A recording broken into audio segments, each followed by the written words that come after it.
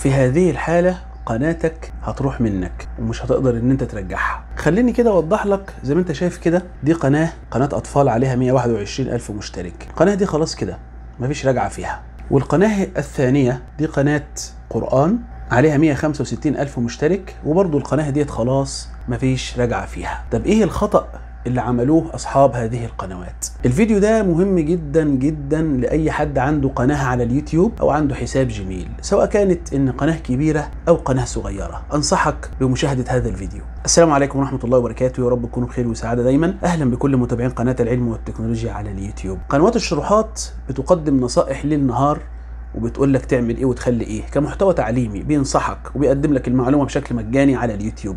وإنت برضو كصاحب قناة مركز فقط على اللي هو الفيديوهات اللي هي لزياده المشاهدات فيديوهات لزياده المشتركين لزياده الأرباح ومش بتسمع أي حاجة غير ديت. لو أنت شفت قدامك فيديو كده مش بتشوفه أصلا. فاتعلم وشاهد مجانا علشان لا تفقد قناتك إلى الأبد وتضطر إن أنت تعمل قناة أخرى. وموضوع إن أنت تفقد قناتك ده موضوع كبير جدا. مش هيعرفه غير الإنسان اللي اتعرض ليه. لأن ده تعب سنوات وسهر وعمل فيديوهات ومونتاج فالموضوع صعب جدا جدا. خليني أوضح لك الأمر بشكل عملي. طبعا أنتوا عارفين إن إحنا بنرجع القنوات المهكرة. يعني أنت لو قناتك اتعرضت للتهكير بتتواصل معنا من خلال رقم الواتس اللي موجود في وصف هذا الفيديو وموجود في وصف القناة. لو أنت ما أنتش عارف إن أنت ترجع قناتك لو أنت عارف انطلق مش عارف تواصل معنا القناة اللي قدامك دي قناة مخصصة للأطفال محتوى أطفال عليها 121 ألف مشترك. اتعرضت للتهكير. عادي ما إحنا بنرجع القناة المهكرة صح كده؟ والقناة الثانية هي قناة مختصة بالقرآن. قناة محتوى محترم عليها 165 ألف مشترك. أيضا اتعرضت للتهكير. عادي ما إحنا بنرجع القنوات المهكرة صح ولا إيه؟ طيب شوف الإيميل اللي قدامك ده كده. ده إيميل نهائي. يعني بعد إجراءات وأشياء إحنا عملناها كتير جدا. الإيميل ده اللي هو خاص بقناة القرآن. بيقول لك إن أنت خلاص قناتك كده مش هنقدر إن إحنا نرجعها. ده آخر رسالة جاية. مفيش قناة خلاص. بيقول لك إن أنت ابدأ إن أنت تدخل اعمل قناة جديدة وارفع عليها فيديوهات من جديد. قناتك شكرا. اتجمدت. والقناة اللي هي محتواها أطفال نفس الكلام نفس الرسالة. زي ما أنتم شايفين كده قدامكم. خلاص صاحبة القناة ديت إحنا اشتغلنا معاها أكثر من شهر. والقناة بتاعت القرآن نفس الكلام. القناتين دول خلاص كده مفيش رجعة فيهم. وإحنا رجعنا في الفترة ديت قنوات كتيرة لكن القناتين دول وقفوا معانا. خلاص كده. الحمد لله قناتك معاك وقناتك لم تخترق لم تهكر غير مسروقة معاك وتمام التمام فقول الحمد لله. طيب من دلوقتي من الآن لو انت يعني يعني جه الفيديو ده قدامك بشكل كده إيه عشوائي م? أو انت متابعنا حتى قبل كده. في معلومات مهمة جدا لازم تكون موجودة معاك. لازم. لو المعلومات ديت غير صحيحة أو أنت مش كاتبها معاك في ورقة وعينها معاك? محدش يقدر يرجع قناتك. ولا أنت ولا غيرك. خليني أقول لك إن أنت لو أنت لست على دراية بموضوع استرجاع القناة بلاش إن أنت ترجعها بنفسك. روح لحد يكون عنده خبرة ويكون عنده تجارب في استرجاع القناة. مش أي حد وخلاص تروح له بتاع شروحات تمام كده؟ وتقول له خد رجع لي قناتي. أو أي حد عادي عنده قناة عادية. لا لازم الشخص يكون أنت عارف إن عنده تجارب. لأن خليني أقول لك إن أنت لو قناتك تم رفضها من قبل فريق دعم اليوتيوب محدش يقدر يرجعها لك بعدها. هيكون أمر صعب جدا لأن بتكون مسجلة في ال history عند اليوتيوب إن القناة دي تم رفضها خلاص لأسباب معينة وتم إرسال الأسباب ديت على الإيميل للي الشخص اللي كان بيتواصل مع فريق دعم اليوتيوب. وبالتالي وقتها شكرا كده. ممكن أنت تكون السبب في إن أنت تضيع قناتك بنفسك أنت كصاحب القناة أو أنت كلمت شخص معين ضيع قناتك. طيب سواء إن أنت بقى هترجع قناتك بنفسك لو تعرضت للسرقة والتهكير أو إن أنت هتتواصل معانا أو إن أنت تتواصل مع أي حد. المهم إن أنت كصاحب قناة لازم يكون في بيانات موجودة عندك. واستحملني في هذا الفيديو وكمله للنهاية. ورقة وقلم واكتب ورايا. أول حاجة حساب الجيميل سواء كان هو عليه قناة ولا ما عليهوش قناة لازم يكون متأمن بكل وسائل الأمان المتاحة. كل وسائل الأمان الموجودة لازم تكون مأمنة بيها. لما تدخل كده من الموبايل على إدارة حسابك على جوجل أو تدخل من خلال اللابتوب أو الكمبيوتر. وعندنا فيديو شرحناه اسمه إنشاء حساب Gmail. شوف الفيديو ده. هيكون موجود. أهم الفيديوهات اللي أنا بتكلم فيها هتكون موجودة في وصف الفيديو في التعليق المثبت. ولو أنت تبحث في القناة هتلاقي كل اللي أنت عايزه. طيب لازم الإيميل بتاعك يكون متأمن بالتحقق بخطوتين. لازم يكون تم إضافة رقم هاتف فيه. تكون ضيف رقم هاتف كاسترداد للإيميل. بريد الاسترداد اللي هو البريد الاحتياطي لازم يكون موجود وكمان يكون مفعل نشط. لازم إن أنت تدخل إيميل عندك آخر تأمن بيه اللي هو كاسترداد لإيميل القناة أو الإيميل اللي أنت شغال بيه. يعني أي إيميل عندك سواء كان عليه قناة ولا ما عليهوش لازم يكون ليه إيميل استرداد. لازم تكون فيه كل وسائل الأمان دهيت. والرموز الاحتياطية. لازم يكون في عندك رموز احتياطية. لو أنت اتعمل خروج لجهازك للإيميل بتاعك أو لقناتك طلب منك إثبات دخول جهازك آه اتفرمط أي حاجة تقدر ترجعه. قناتك اتسرقت اتهكرت ها؟ أه؟ تمام؟ هتقدر أنت ترجع الكلام ده. ولكن لازم الحاجات دي كل تكون كلها موجودة. خلاص إحنا خلاص عدينا المرحلة دي وامنا بكل وسائل الأمان. شكرا. شكرا ليك جدا. لازم البيانات دي تكون موجودة معاك. إيه هي؟ يكون معاك معرف القناة. الكلام اللي أنا بقوله ده هتلاقي ليه شروحات في وصف الفيديو في التعليق المثبت. علشان لا أعيد هذا الكلام كثيرا. لازم يكون معاك رابط القناة. معرف القناة.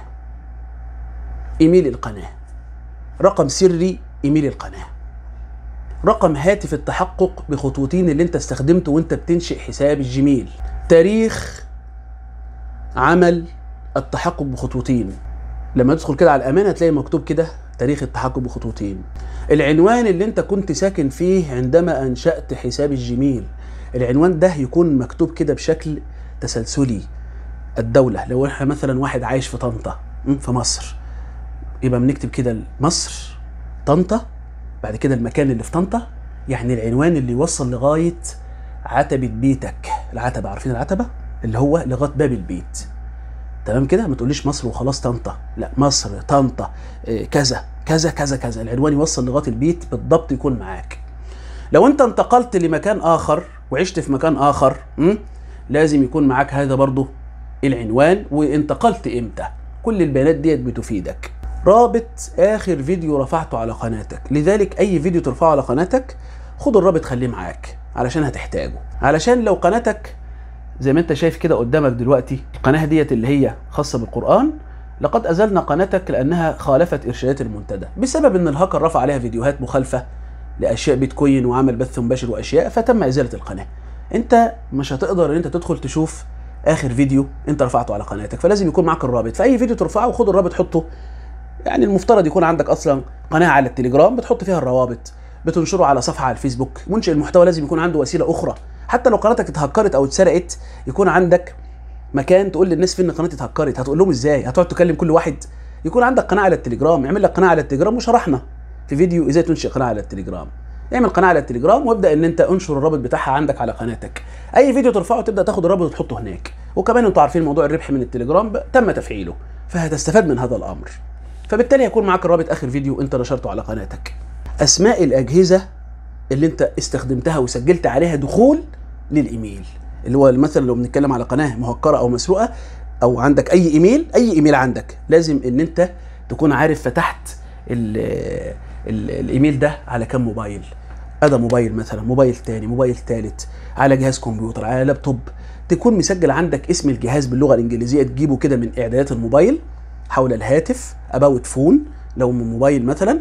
وتبدأ إن أنت تكتب عندك كده مثلا جهاز iPhone 14 Pro Max iPhone 14 Pro Max. ده الجهاز أنا سجلت عليه دخول لهذا الإيميل. وتحت منه ال IP الخاص بالجهاز. لازم إن أنت يكون معاك ال IP ومعاك اسم الجهاز. أكتب كده عندي إيميل القناة. كلمة السر. رقم هاتف التحقق بخطوتين. الإيميل المستخدم لاسترداد هذا الإيميل. رابط القناة. معرف القناة. العنوان الذي سجلت فيه دخول. العنوان الذي انتقلت فيه إن وجد. فاهمين إزاي؟ الحاجات دي كل كلها مكتوبة معاك. اسم الأسماء الأجهزة التي سجلت عليها دخول لهذا الإيميل. ال IP الخاص بكل جهاز تحت منه.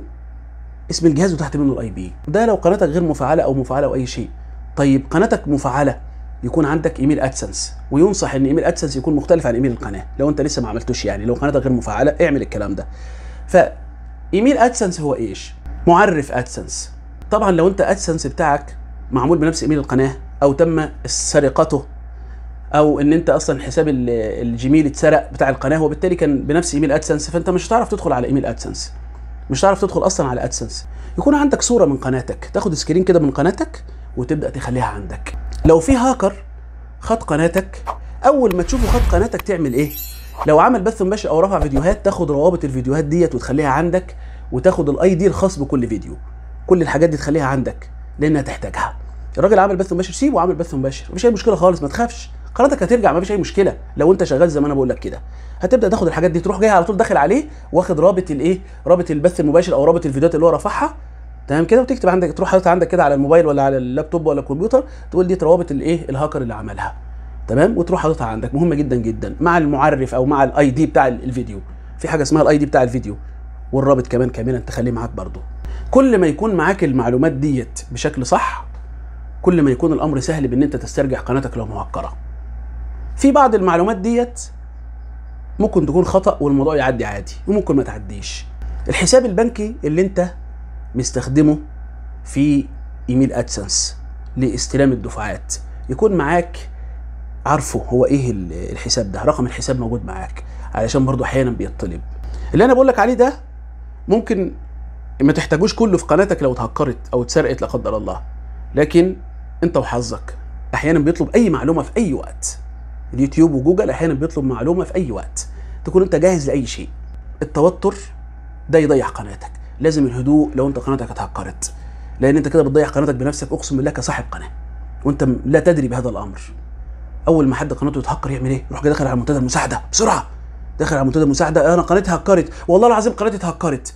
أه وعندي الإثبات. يا عم انت بتكلم مين؟ مين اللي هيرد عليك أصلا على منتدى المساعدة؟ معلش مين اللي هيرد عليك على منتدى المساعدة؟ ناس عادية موجودة هي اللي بترد على الناس مش ناس موجودة في اليوتيوب أو في, دعم اليوتيوب أو في دعم جوجل.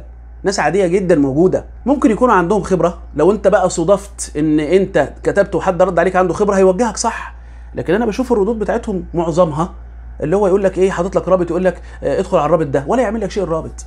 رابط مقالة يقول لك استرجاع حسابك. واصلا الهاكر خد الحساب أساسا وغير كل البيانات. وحط فلاشة أمان كمان? فبالتالي لازم إن أنت تبقى عارف هتعمل إيه ويكون عندك هدوء عادي جدا. قناتك اتسرقت أو اتهكرت عادي جدا. ما تضيعهاش بنفسك بقى. ما أنتش عارف بتعمل إيه ما تدخلش تتعلم في قناتك. القنوات اللي بتتعبنا هي القنوات اللي أصحابها أصلا حاولوا وعملوا محاولات. يدخل على تويتر يكلم فريق الدعم ويدخل على منتدى المساعدة. ولما فريق الدعم يرسل لهم مش عارفين يقولوا إيه. أنا بشوف عندي لما في قنوات بيتم تهكيرها بيقول لي أنا تواصلت مع دعم اليوتيوب مثلا بقول له اديني الإيميل اللي أنت تواصلت بيه بشوف الرسائل اللي هو كاتبها. عارفين إزاي؟ والله العظيم دي قناتي. والله العظيم شوف ده الدرع اللي أنا واخده هو كمان يثبت إن دي قناتي. يا عم أنت بتكلم بتكلم جوز عمتك. بتكلم مين؟ يا ابني أنت بتتكلم فريق دعم يعني اللي هو الكلمة بحساب. الكلمة بحساب بتكلم ناس يعني professional جدا. فريق الدعم الداخلي. يعني أنت مش بتكلم حد يعني مش بقول لك على الناس اللي هم بيردوا على المحادثة لما انت تتكلم محادثة مباشرة آه وأشياء زي كده اللي هو فقط بياخد منك المعلومات يديها لفريق الدعم الداخلي. فريق الدعم الداخلي قوي جدا بتاع جوجل واليوتيوب ال internal team. فتقعد تقول له والله العظيم كذا أنا بشوف الناس كاتبة كده بشوف الإيميلات والله العظيم دي قناتي. وتلاقي مثلا اليوتيوب أو جوجل ما ردوش عليه بسرعة كاتب لهم إيه؟ أنتوا ما ردتوش ليه؟ ما ردتوش ليه؟ ده أنا بعت لكم كل البيانات مش عارف ما ردتوش ليه ما عملتوش ليه؟ أنت بتكلم مين؟ كده بتضيع قناتك بنفسك. هو انت عارف إيه الخطوات اللي تسترجع بيها القناة عشان تعمل كده؟ ويجي له بقى يرد عليه يقول له مثلا خد اعمل كذا والله أنا عملته وما نفعش. طب مش معنى لما أنا بعمل بينفع؟ مش معنى أنت باخد أنا بقى الإيميل بتاعك ده وبعمل وبكمل عليه بينفع؟ فلازم إن أنت تكون في تأني كده وفي صبر وتكون عارف أنت بتعمل إيه. وترد على قدر المعلومة. ترد على قدر السؤال فقط. بيقول لك اعطني رقم موبايلك اللي انت كنت مستخدمه اللي هو آخره أربع أرقام منه اعطيني أربع آخر أربع أرقام منه تدي له آخر أربع أرقام منه. ما تقولش لا بيقول لك هات لي آخر أربع أرقام من رقم هاتفك المستخدم ك ك ك ك كتحقق بخطوتين في إيميل القناة مثلا. تيجي انت تقول له إيه؟ والله بس أنا كنت شاري غسالة من ثلاث سنوات إيش دخل الغسالة برقم الموبايل اللي هو بيسألك عنه؟ فيا ريت يا جماعة بالله عليكم نركز شوية عشان مش تضيع قناتك بنفسك. ولازم الأمان زي ما أنا وضحته كده لازم يكون كل عندك كل وسائل الأمان من دلوقتي. أول ما فريق الدعم بياخد منك المعلومات بتعمل نموذج وبتعمل الأشياء دي كلها بيبدأ إن هو يرسلها لفريق الدعم الداخلي اللي هو بقى خاص بجوجل. فريق الدعم الداخلي الخاص بجوجل بيبدأ إن هو يطلب منك بعض الأشياء التانية. لو طلب منك أشياء وأنت في معلومة خطأ أو أي شيء زي كده لو رد عليك وقال لك إن إحنا لم نتأكد إن أنت صاحب الحساب أو معلوماتك فيها مش هي المعلومات بتاعة الحساب ساعتها كده الموضوع بقى صعب جدا. بنبدأ إن إحنا نلجأ إن إحنا نغير القناة على إيميل آخر وبتمشي معانا كتير أحيانا. يعني كتير قنوات إحنا حولناها على إيميل آخر ولكن في قنوات تانية فشلت معانا زي القناتين دول كده. قنوات أصحابها شغالين عليها ودخل فلوس شهرية وقنوات أصحابها سهروا عليها ومع ذلك كده القنوات دي شكرا. نتيجة إيه؟ نتيجة إن محدش بيسمع الكلام محدش بيخزن المعلومات دي عنده بيكتبها عنده. يا جماعة أرجوكم اليوتيوب ليس فقط رفع فيديوهات ومشاهدة فيديوهات فيها تضليل وليس لها أي قيمة ليك.